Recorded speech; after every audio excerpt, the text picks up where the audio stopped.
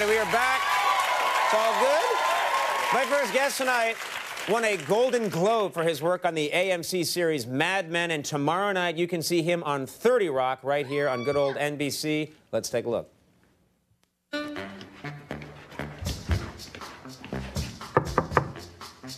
He has an ice cream maker? Come on.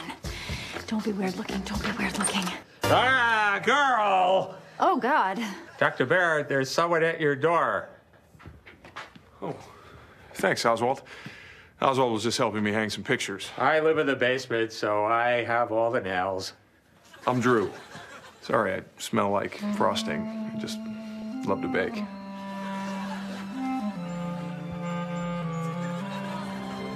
I want to go to there. Please welcome Jon Hamm.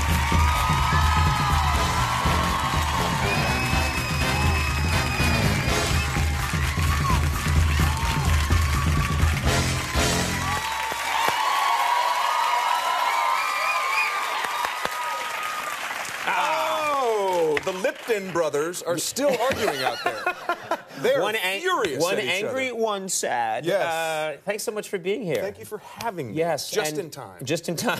yeah, you ran in the door just as we're headed out. Uh, congratulations, first of all, uh, Golden Globe uh, for for Mad Men. Oh, that's just fine. They. That's got to be very exciting. I mean, this uh, this uh, role sort of uh, yeah, overnight. This Phenomenal. is fantastic Yeah, it's uh, it's very strange because it is it's on a, a network that people I'm pretty sure aren't certain exists. Mm-hmm. Uh, and if they are, I'm pretty sure they think it's A and E. right, right, Uh, right. but it's not. It's AMC. Yeah. Uh, it's Do a you- real network. Do you have uh, do you have the, the statue? Tell me where's the statue? Uh, the Golden statue, Globe? because the one I won personally, Mm-hmm. I won the year that there was no ceremony because of the writer's strike. Yes. Uh, thanks again, by the way. Little thing I did. Uh, no, uh, so so they sent it to me in the mail, uh, which is so Hollywood, so. That's weird to get your big award in the mail. The That's how it happened. Yeah. Uh, so uh, I immediately had it mounted to the front of my car.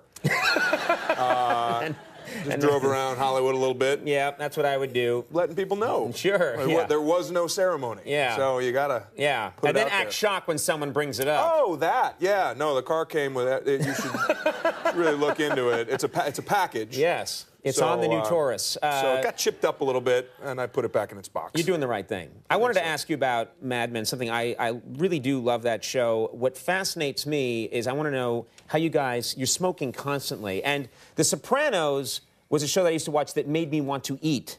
Mad Men makes me want to smoke. I'm not a smoker, but you guys make it look so cool. Well, it was even harder with The Sopranos because we, we share some DNA there. Matt Weiner, who created our Yes, show, was yeah. a writer on, on The Sopranos as well. And The Sopranos uh, made, they all had to actually kill people. Right. So it was really hard. Uh, they'd run out of people. It was very It realistic. It, helped. Yeah, People yeah. would be like, I'm in jail again. Right, right. Um, but no, what we smoke, because you're not uh, allowed to smoke indoors in LA, so uh, for the health of others. So uh, uh, we smoke these sort of fake, they're herbal, Th- th- there's no nicotine in them. Oh. Uh, that said, you are still lighting something on fire and inhaling it. So, what, what- uh, when you say it's herbal, there's like cinnamon and sage in these cigarettes? Uh, yeah, yeah, vitamin C and, and dreams.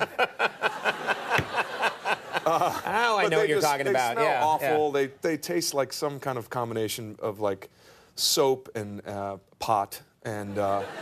I've tried that. yeah. Yeah. Those were lean times for me. Let's talk about 30 Rock. Tina Fey said, this is a quote uh, of you. Uh, you are the most handsome man. He, they, Jon Hamm's the most handsome man on the planet. I need to poke a hole in a paper plate to look at him just like an eclipse. John Hamm, what is it like to be that handsome? Well, to be fair, I think I think Tina makes a fairly good living on comically exaggerating things, uh, but uh, but no, I have had to take certain precautions in my in my personal. I can't believe you've held eye contact this long, honestly. uh, you're a brave man. You're burning the flesh around my skull. You're a brave man. You and Harry Hamlin, I just, it's hard to take. It is. Uh, we we go for a lot of the same parts. Harry and I. Uh, So, no. uh, but uh, so what are you doing to protect the world from your handsomeness? It's uh, it's a combination of things. I, I try to I try to wear the darkest sunglasses I can. Very just good. again to That's protect nice of you. people. Uh, I just I flew out here. I got here yesterday. We, there was some bad weather, uh, so I wanted to make sure the pilot was completely focused on his job. So I did not uh, talk to him or, or, or engage engage in any. It tends to disrupt a flight, does it? Ooh, you yeah, don't I wanna, can imagine. You don't want to say hi. You don't want to say good flight because he's just going to be thinking like, oh, that guy. what a good-looking guy in 2F. what? Oh God, is that a goose? Yeah. Even the goose is like, look at that guy in two F splat. Interestingly enough, uh, uh, Tina and I were shooting uh, the final episode of 30 Rock uh, 30 blocks from where uh, the plane went down in the Really? Hudson. Really? We were outdoors. You Um, didn't see anything though. Uh, I did not. Tina did. She was in a car literally facing the Hudson, say, and that plane seems awfully low. Uh, I'm not taking credit or, uh, or uh, blame for causing that accident, but uh, It's very possible that we were near. That's all I'm saying. it was caused by your handsomeness. I'm convinced. It is. It has. It has a range. That's all I'm saying. You know what's funny to me? There's a celebrity pairing here I find interesting, which is you have become a little chummy with a cast member on 30 Rock. I'm talking about Jack McBrayer, who plays the Page. Jackie. Who's yeah, there he is. Kenneth! Yeah, Kenneth the Page. And you guys, is this right? You guys went to uh, like a Knicks We game to a Knicks together? game, yeah. It's such a funny. I don't know why. It just makes me laugh. The two of you becoming best pals. Because Jack, we know him well. He got started on Uh, Yes, this show did, playing yes. Hicks and, and as you know is is the nicest person on the planet. Yes. Like and it's utterly genuine. He couldn't be nicer. Uh, and so we're at a Knicks game, and of course he is recognized by everybody in the stadium, and everybody wants to come take a picture and say hi and everything. And halfway through the thing, he leaned over to me and goes, "I'm real sorry. I'm real sorry." And I said, "Why?" He goes, "Cause no one's recognizing you." Ah,